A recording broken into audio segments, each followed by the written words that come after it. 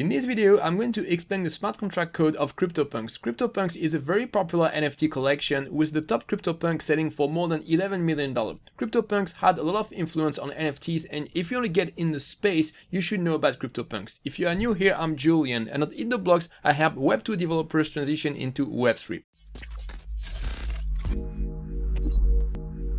CryptoPunks was released in 2017 by Larva Labs. When it was first released, nobody thought much about it and it was only much later that it became popular. This is the smart contract of CryptoPunks in Solidity. You can see that this is an older version of Solidity. The smart contract has three functionalities. It manages ownership and transfers of CryptoPunks, it has an airdrop feature, and it has a marketplace for CryptoPunks. Technically, CryptoPunks doesn't respect any known standard, but it was the inspiration for ERC721, the standard for NFTs. The image of CryptoPunks is stored outside of the blockchain. This is the hash of the image containing all CryptoPunks. You can use it to make sure that the image of your CryptoPunk has not been altered. This mapping records ownership of CryptoPunks, and this one records the total number of CryptoPunks owned per address. This is the constructor of the contract, only executed once during deployment, and inside we initialize important variables like the owner of the contract. These three functions are used to do the initial assignment of each CryptoPunk to the owner of the contract. This function is for the initial airdrop of CryptoPunks in 2017.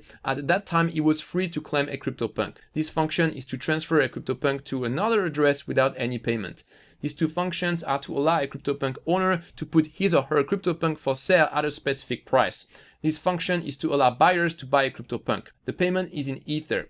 This function is for buyers to get their Ether back if their bid was not successful, which leads us to the bidding system, the second way to buy a CryptoPunk. With this function, a buyer can place a bid for any CryptoPunk.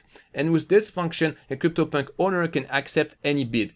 And finally, this function allows a buyer to withdraw his or her bid. So that's it for this walkthrough of the code of CryptoPunks. It's important to understand that it's an old smart contract and nowadays we wouldn't put so many functionalities in the same contract. Especially for modern NFT projects, the NFT ownership is managed in its own contract following the ERC721 standard. And next you can watch this video to learn the ERC721 standard. I will see you there.